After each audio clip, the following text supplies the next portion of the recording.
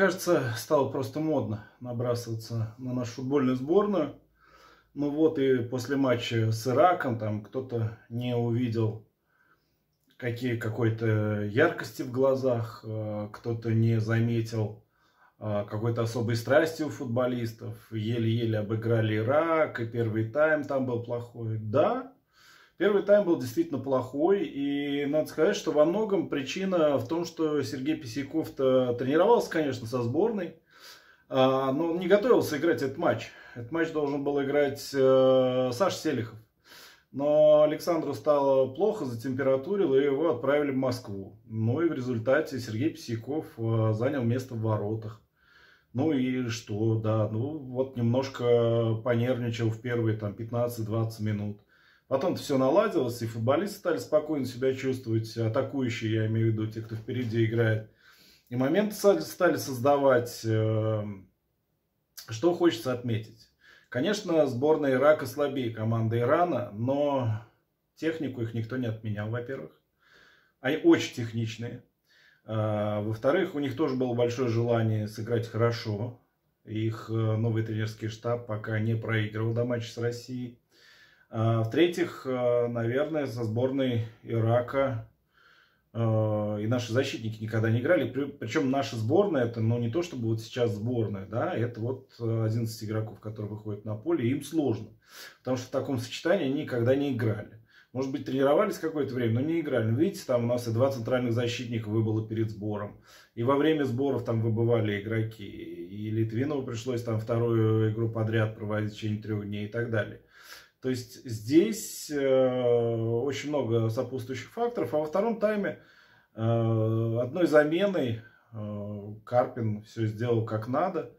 Вышел на поле Миранчук, сразу забил гол через две минуты.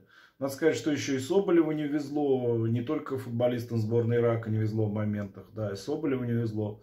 Но выиграли бы мы 5-3 ну, кого, кому от этого стало бы хуже, лучше. Так, ну, 5-3 было бы ярче, да, чем 2-0. Но 2-0 лучше для вратаря, наверное, и тренера вратарей. В целом, второй гол хороший получился. Совершенно еще был момент, где Миранчук должен был забивать третий, не забил. Ну ладно, мы все это спишем, ничего страшного, ведь у Ирака тоже были моменты, но они были только в первые 30 минут матча, обратите внимание. Потом уже ни одного момента, они к нашим воротам, на нашу половину практически не переходили футболисты сборной Ирака. С физикой там немножко швах. У наших с физикой все нормально.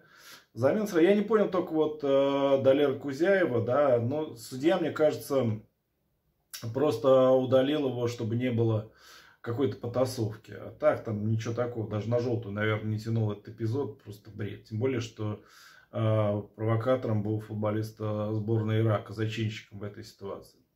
Что еще хотел сказать? Э, Тут Сергею Пеняеву отвесили столько комплиментов за этот матч. И звездочка ты наша, и надежда нашего футбола, и светлое пятно на фоне там а, какой-то мрачной сборной. Оставьте пацана в покое. Честное слово, 18 лет ему. И, а то он так и останется пятном. Да, причем светлым перестанет быть э, совсем скоро. Пусть играет в футбол. Да, Пеняев, Литвинов, э, еще там Денисов, еще какие-то ребята э, пока получают удовольствие от игры в сборной. Пусть играют, пусть стараются. Для них это большой праздник, это класс. Остальные ребята просто делают свое дело. Там, э, те, кто постарше. Да, это тоже хорошо. Но не надо, вот, как сказал старший Беллидинов, не надо делать, во-первых, из него второго Месси, это правда. Ну, а во-вторых, э, ну, в действиях Сергея Пеняева еще очень-очень много брака. И поэтому возносить его до небес, ну, не надо, пожалуйста. Не хочется действительно, чтобы он остался каким-то пятном. Не более того.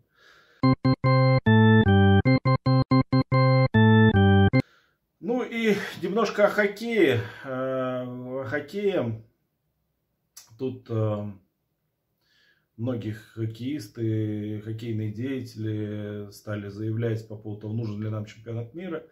И высказался, в конце концов, Максим Сушинский по этому поводу, что он давно говорил, что нам не нужен никакой чемпионат мира, что это просто ерунда полнейшая, да, пусть там играют те, кто вылетел из Кубка Гагарина, зачем а, мы это делаем.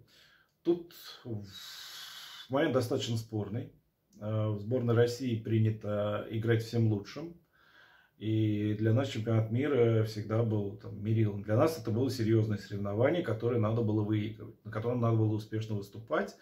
И обратите внимание, во время чемпионатов мира по хоккею, мне даже вот мои коллеги, да, которые за спортом особо не следят, но говорят, что во время чемпионата мира по хоккею всегда забиты бары, там, особенно когда начинается плей-офф, за сборную России болеют. Это вот, наверное, какая-то часть народа, если так пафосно заявлять. Э, сборная России действительно народу нужна, и раз в год, в мае, да, то есть э, на какой-то период, на период как минимум плей-офф, чемпионат мира по хоккею народ собирается и болеет за сборную своей страны. Если чемпионат мира проходит не у нас, где-то в другом месте, то болеют э, в барах. И даже те люди, которые хоккеем не особо интересуются, на этот период интересуются хоккеем. И отправлять туда тех, кто вылетел не в первом там раунде даже плей-офф, а тех, кто вылетел и не попал в плей-офф, ну это было бы в какой-то степени странно. Тем более чемпионат мира начинается в мае, а в апреле там у нас э, благополучно заканчивается обычно плей-офф Кубка Гагарина. Почему бы туда не ехать сильнейшим? Другой момент, что нас-то исключили. Да, и когда мы туда вернемся, никто не знает. Ларионов и вовсе предлагает э, выйти из ИХФ. Да, и чтобы они потом типа нас уговаривали, чтобы мы туда вошли. Но нет, без нас обошлись один раз, обойдутся другой раз. Вот э, завтра стартует чемпионат мира по хоккею с мячом, там в первый раз обойдутся без нас.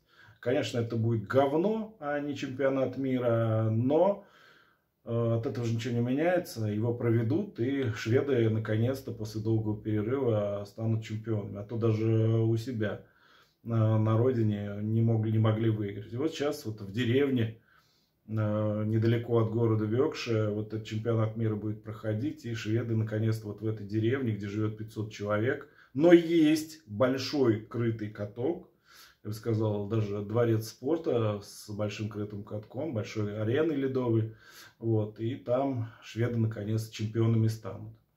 А вот если не станут, вот это будет хохма. Но других вариантов просто нет. Все на сегодня.